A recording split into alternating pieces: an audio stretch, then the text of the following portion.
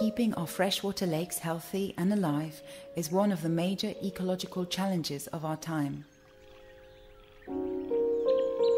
Lake Balaton, the largest lake in Central Europe, had suffered both from agricultural industrialization and commercial fishing, to the extent of a massive decrease of native species and a water quality unhealthy even for human beings, but surely deadly for the fish.